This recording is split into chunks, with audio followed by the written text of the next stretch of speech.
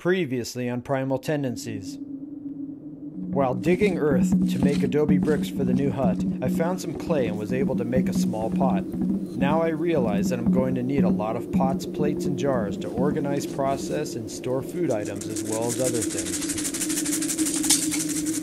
It may seem inconvenient to have to hike a few miles to get to the stream, but in this episode it will be apparent why it is better to not build my hut near water.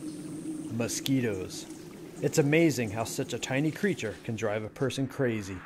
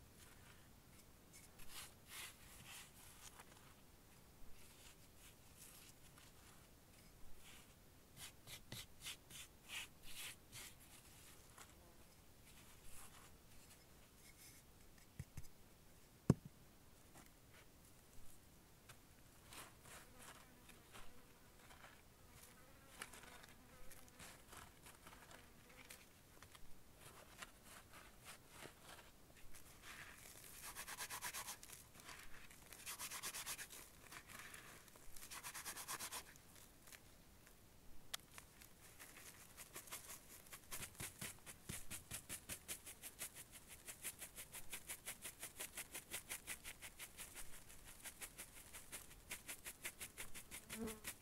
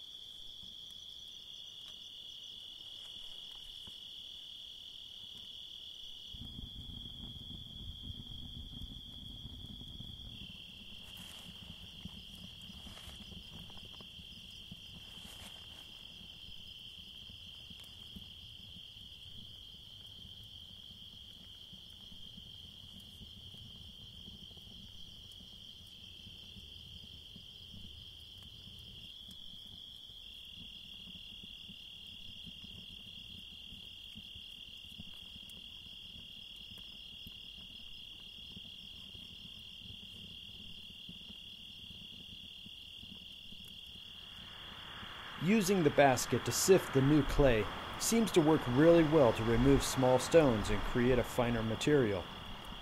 The little bowl that I'm making is turning out great and will lead the way for many more pottery products.